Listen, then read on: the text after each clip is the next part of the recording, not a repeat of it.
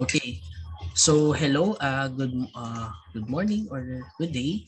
Uh, we will start discussing module 13 which is uh, Terzaghis bearing capacity. Okay, so last meeting we discussed the different types uh, or the last module we discussed the the different types of foundation solutions. So right now you uh, understand or you know what is uh, the shallow foundations and uh, deep foundations. Okay, so uh, the most important uh, parameters of foundation designs is to find the soil bearing capacity or the bearing capacity of your soil. Okay, so uh, maybe in uh, using the Terzaghi's equation, using the Vesic equation, Mayer-Hoff, modified Terzaghi, So, uh, depends upon the, the geotechnical engineer of, of, on record. Okay? So, ang nangyayari kasi, uh, geotechnical report. So, may geotechnical report tayo. Uh, so, nag-conduct sila ng expert ng uh, ng uh, boring boreholes, 'di ba? Nag-conduct sila ng boreholes. Then in-study nila yung uh, yung different parameters like sigma, yung shear strength of the soil, and more, okay? So also, meron din silang binibigay na, na bearing capacity of your soil. Okay, so if you are the designer, if you're the designer of the building, so syempre sa atin nang galing yung ano yung uh, yung total loads of the structure. Okay, so the geotechnical engineer is uh, uh, siya yung capable to provide yung soil bearing capacity of the soil. So the soil bearing capacity of the soil and meron kang soil bearing capacity then also meron kang the total loads of your building. Okay, yung uh, yung loads of your building. Yung reactions dun sa sa sa sa, sa supports sa, sa may uh, foundation level. Okay, then magde-design ka. So you will design the bearing capa- the, the dimensions of your foundation based on the dependent on the, the bearing capacity. So, napakahalaga ng bearing capacity sa soil talaga. Okay, sa pagde-design ng foundation. Okay, so uh, this uh, in this module we will understand uh, uh, the theory or uh, siya yung um, uh, sila yung pinag uh, ng bearing capacity uh, understanding the bearing capacity of the soil. So using the Terzaghi's equation. Okay, so soil bearing capacity, the lowest part of the structure generally referred as the foundation. So it is function, uh, its function is to transfer the load of the structure to the soil on which it is resting. So properly designed foundation transfers the load throughout the soil without overstressing the soil. Okay. So, anong mangyayari if you overstress the soil? Overstressing the soil result in uh, either excessive settlement, a shear failure of the soil, pwede rin yung uh, uh, pag hindi nag uh, mag-shear failure sa soil, pwede rin mangyari na ma-damage yung foundation mo.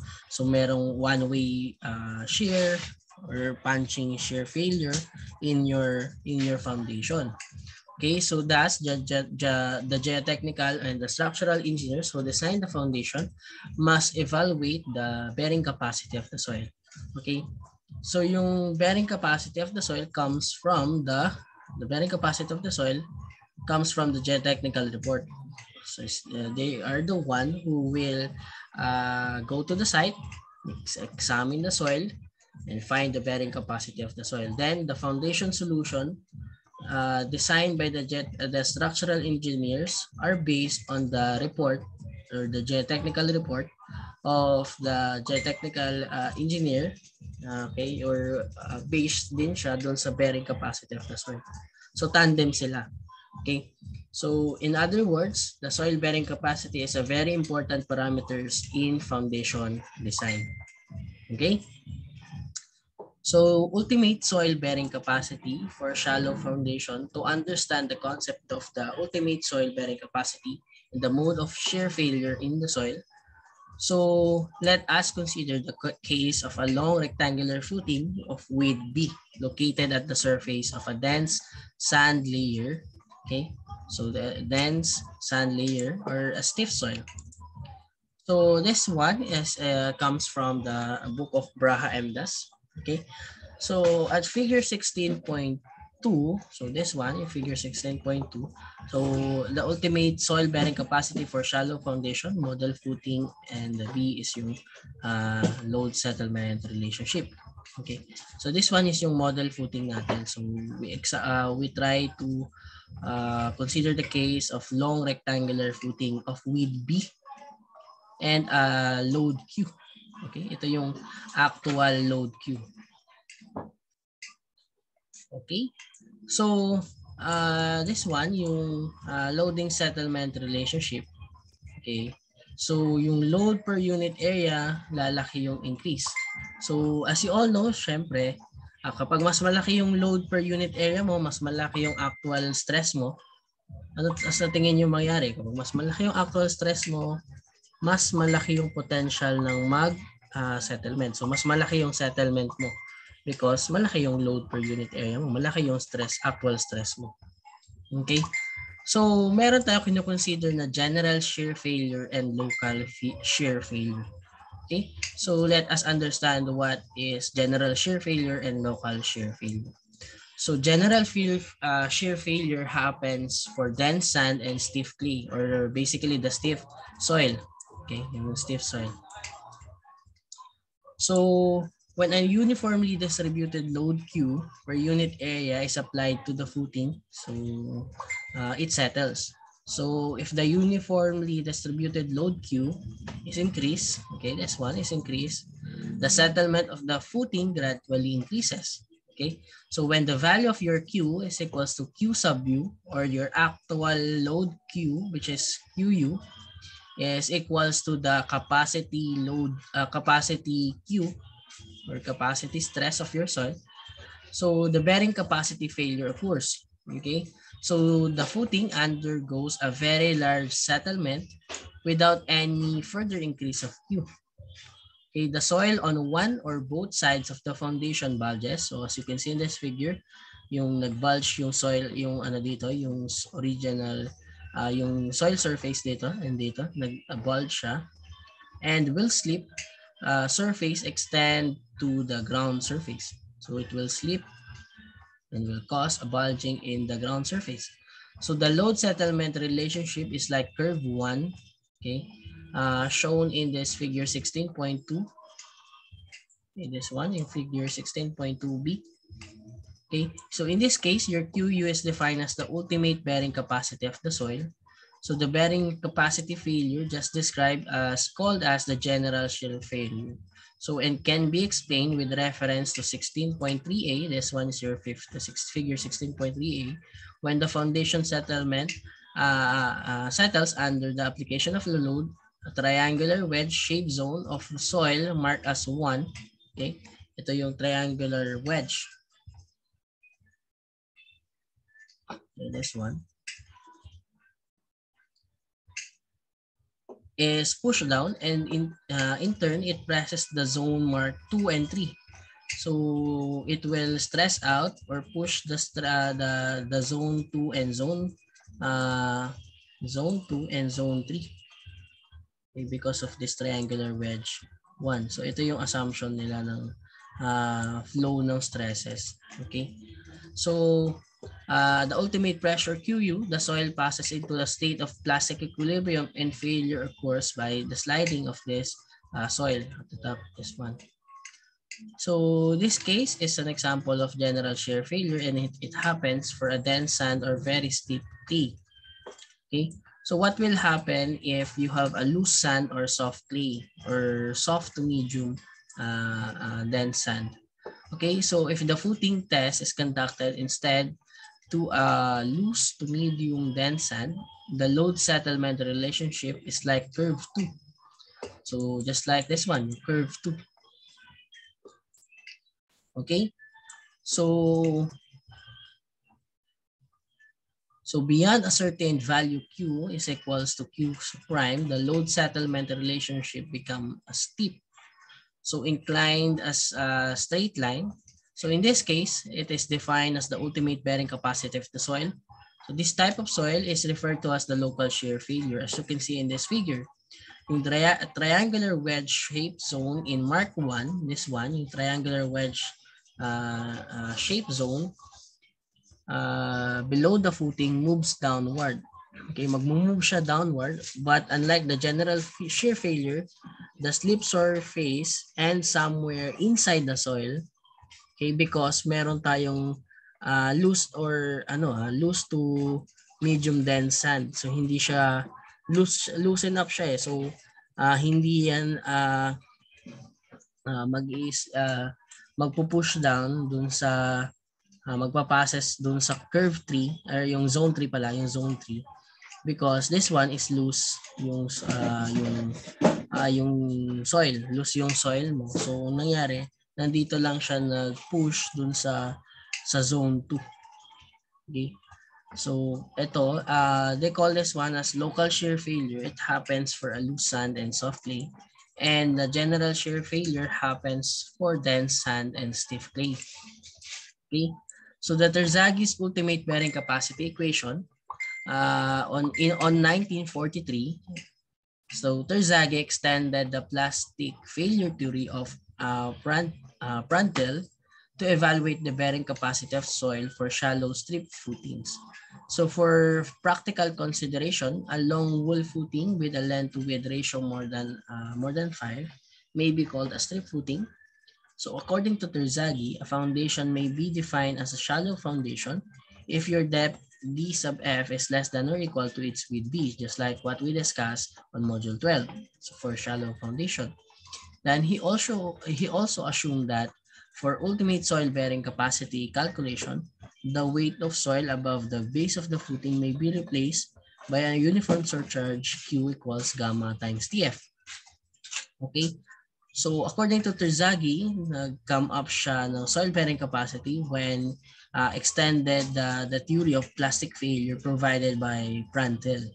Okay? So uh, he comes up, the Terzaghi comes up to, diff, uh, to this equation So it, it is the Terzaghi's ultimate bearing capacity equation. So this one is a equation for general shear failure and this one is an equation for local shear failure. So as you can see, they are uh, the same. Okay, different parameters lang. So yung C, that is C prime and C and C prime, Q and Q prime, gamma, uh, ay yung N gamma naging N gamma prime. Okay. So meron lang siyang prime for local. Okay. So for square footing, your ultimate bearing capacity, Q ult, is equals to the uh, 1.3 CNC plus QNQ plus 0.4 gamma BN gamma. For circular footing, your, or your ultimate bearing capacity is equals to 1.3 CNC plus Q and Q plus 0.3 gamma B and gamma. Then for strip footing, your ultimate bearing capacity is CNC plus Q and Q plus 0.5 gamma B and gamma. Okay? Uh, the same for square uh, for local shear failure. It happens for a loose sand or soft clay. Okay, that's one. You have the same formula. Okay, so what are the parameters? Your NC, your NQ, and N gamma, this one, your NC, N sub C, your N sub C, your N sub Q, and your N gamma is the bearing factors. So later on, we will discuss what are those uh, bearing factors. So NC and Q and gamma are the bearing factors. So C stands for the cohesion of your soil. Your Q, okay, C is uh, the cohesion of your soil is this one. Okay, your Q is the effective stress. Effective stress at the bottom of the foundation. Right, of, right at the bottom of the foundation. And your uh, uh, gamma is basically uh, the the buoyant unit weight of your of your uh, soil of the soil okay so later on we will discuss uh, what is this gamma b okay so we'll discuss this gamma and gamma b Okay. So right now, uh, the gamma stands for the the uh, the unit weight of your uh, your soil. So what are the parameters? Other parameters, you have your QUlt, that is the ultimate bearing capacity. And your QU is the unconfined compressive strength. Okay, so as you all know that uh, using the unconfined compressive uh, uh, test, okay, yung uh, uh, uh, yung graph neto, if you recall the Mohr circle, yung graph neto is uh, this one. Okay, so yung cohesion value is basically uh, your QU, yung ultimate load on the soil, ito yung soil natin, nagkandak lang siya ng ano ng uh, parang compressive stress dun, compressive strength dun sa the soil. Then your QU is basically the the radius of the graph. Okay, so that is why your cohesion is QU Okay. Then your Q is gamma times DF for no water table. So the other uh, the other definition of Q is the effective stress at the bottom of the foundation. Okay, and Q net, net uh, uh, bearing capacity is equals to the Q ult minus Q over Fs. Okay, Q net meaning you have the net uh, uh, net uh, net net stress or net actual stress in your of in your foundation. So that is meaning yung net ibig sabihin siya yung difference between the uh, siya yung parang allowance mo eh, siya yung pinaka-allowance mo. There, therefore yung Q ult mo, this is your capacity. Okay? And Q over Fs yung the the demand. So basically yung Q net is equals to the difference of your capacity and uh, the demand. Okay? So yan yung ano, capacity or the actual load, demand or the actual uh, or the actual load or the actual stress. Okay? And your Q allow or the allowable bearing capacity is equal to your Q ult or the ultimate bearing capacity divided by the factor of safety that is also equals to the uh, P allow divided by the, the area of your foundation. Okay? uh, why are we uh, using a factor of safety? Okay, so uh, we are not designing our, our structure ng sagad-sagad. Nung ibig sabihin, at its own maximum limit, dapat meron pa rin tayong allowance for errors in the construction. So that is why we are providing factor of safety in our design. Okay, so this is the factor of safety. Okay, So uh, the bearing capacity factors based on the original Terzaghi capacity equation, Terzaghi bearing capacity equation, is uh, written in this table. So uh, you have uh, the angle of uh, internal friction for your soil, that is phi prime. So uh, this table shows the bearing capacity factors based on the angle phi prime. So we have an angle 0 to 50 degrees and you have a uh, uh, specified bearing capacity factors. So ang pagtingin dito kapag meron kang 0 degrees, meron kang 5.7, 1, and 0. So this is your NC, this is your NQ, and this is your N gamma. Okay? So this table is uh, only for the original uh, bearing capacity factors or uh, sorry, the original Terzaghi's equation. No modifications on the uh, on the Terzaghi bearing capacity. Okay? So kapag hindi uh, hindi binigay yung NC, NQ, and gamma, so you will just check this table okay for the bearing capacity factors. Okay? So don't worry, don't worry in the problem. I will state uh, uh, the, the, the bearing factor NC, NQ, and gamma. Okay. However, if wala naman, so I will uh, uh, state so saan nyo siya kukunin. Okay. So even in the board exam, in the board exam, uh, the the bearing factors is provided in the problem. Okay. So this one is the bearing factors. So the effect of water table is uh, uh, uh, affects the uh, the bearing capacity of our of our soil. So under case 1, uh, your Q will uh, case 1 is when your uh, groundwater table is within your depth D sub F. So nandun siya yung uh, groundwater table. And case 2 is when your ground table is located at the bottom of your foundation or double bottom of your footing, right at the bottom of your footing. And case 3 is when your uh, groundwater table is below your foundation. So case 1 nasa above, case 2 is within the the foundation and uh, case 3 is below the foundation. Okay, so if you recall the formulas, this one, meron kang Q and gamma. May Q and gamma ka. Yung Q is for case 1 is given by gamma df minus d plus gamma prime d.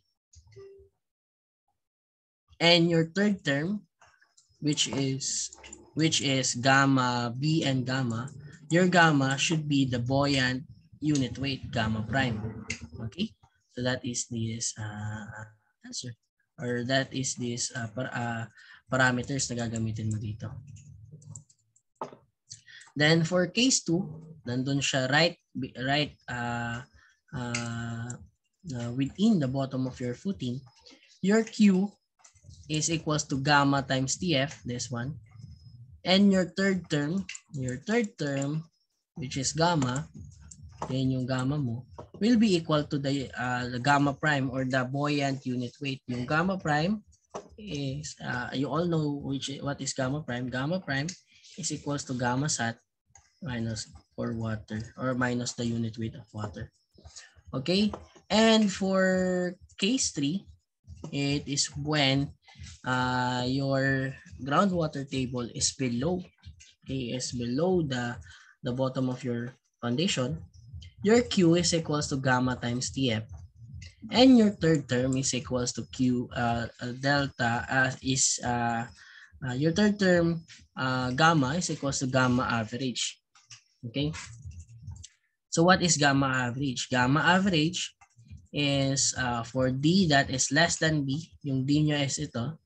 D is less than or equal to B. Okay. Your gamma average is uh, uh, yung uh, can be solved by this equation. Okay. So gamma average times with B is equals to gamma times D plus gamma prime B minus D. Then for D that is greater than B, yung, yung, yung distance D is greater than B, your gamma average is equals to gamma. Okay? So there is other way of taking into account a water table. Okay, so there is another way to taking uh, account of water table. So pwedeng hindi ka na tumingin dito sa case 1, sa case 2, and case 3. So paano yon? Yung Q is the effective stress at the bottom of the footing. So kung papansin niyo lahat ng case na to, ano yung effective stress at this point? What is the effective stress at this point and what is the effective stress at this point? Tama ba yung sa under case 1, yung effective stress at, uh, at that point is equals to okay, gamma. Okay, effective stress na ito. So ito gamma sat yan for sure, di ba? Yung this one, uh, this one uh, gamma to, ito gamma sat to, saturated to. Tama ba? Okay. So syempre, gamma, ano yung distance na to? Distance na to is basically df minus d. Tama? df minus d then plus uh, gamma sat minus gamma water okay multiplied by the distance d so as you can kung mapapansin nyo parehas na parehas siya dito gamma times tf minus d gamma prime times d okay so that is your q Okay? Next is yung gamma B. Okay. Gamma B is the effective stress at B distance from the bottom of the footing not including the stress at the top. Okay, so check na check ulit natin yung case 1. Sabi dito, effective stress daw at a B distance. So balik balik natin. Uh, effective stress at the B distance from the bottom of the footing. So ito yung bottom of the footing. So B distance daw, sukat ka ng B distance. Okay. So B distance. Okay. Then, therefore, uh, kapag hinanap natin yung effective stress at this point, that is equivalent to gamma B. Gamma B na siya ha. Take note, gamma B na siya. No need to multiply pa sa B. So gamma B na siya. So, ang sabi pa dito, not including the stress at the top. So ibig sabihin, hindi mo na hindi ka mag-start sa taas. Dito ka lang mag-start sa bottom of your footing. Dito ka lang mag-start. So sa case natin na to, okay, sa case natin na tong case 1, okay, ano yung gamma B niyan sa tingin nyo? Gamma B diyan is, okay, so ano yung effective stress at this point? So tama ba na that is, kung gamma sat ito, your gamma B is equals to gamma sat minus gamma water multiplied by B distance. So hindi nakasama yung taas ha. So dito ka lang mag-start. Hanapin mo lang yung effective stress dito. Okay? So kung mapapansin natin, okay, multiplied by B distance. So kung mapapansin natin, yung third term daw dito is equals to, ga, to gamma prime. So gamma prime which is equal, equivalent to this one. Ito gamma prime to eh. Okay. So uh, that is equivalent to this one. Gamma prime times B.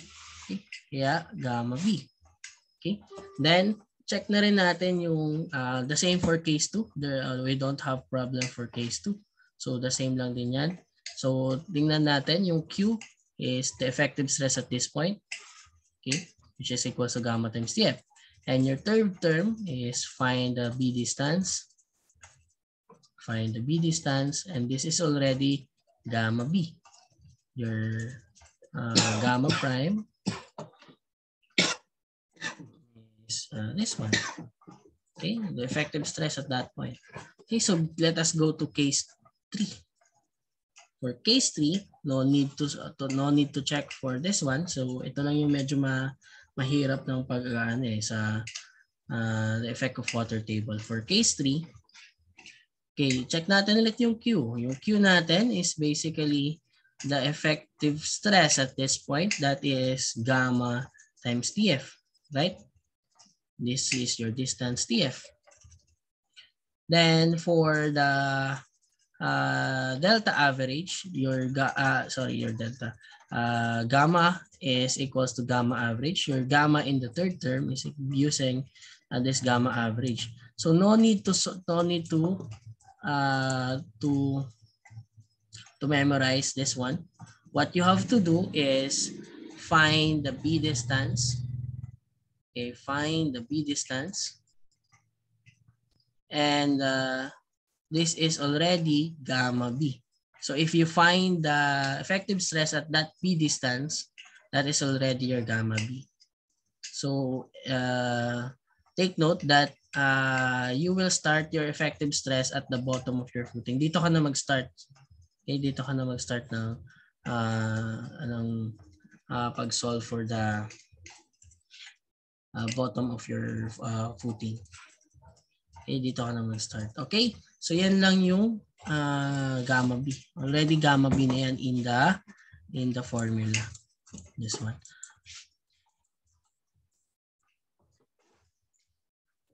Okay, so uh, please you, uh, see the example problems for Terzagi's pairing capacity.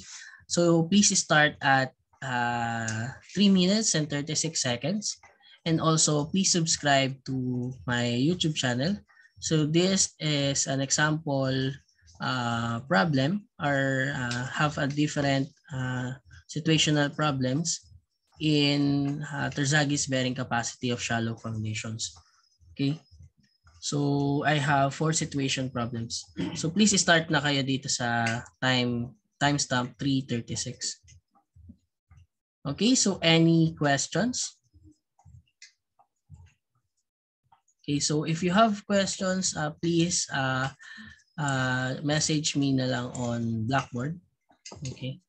So uh, thank you. So again, please subscribe to my uh, uh, uh, YouTube channel account. Okay. So nandito nakapaloob yung example problem of uh, Terzaghi's pairing capacity. So check nyo na lang tong link na to. Copy nyo yung link na to and uh, go to uh, uh, this uh, video. Okay. So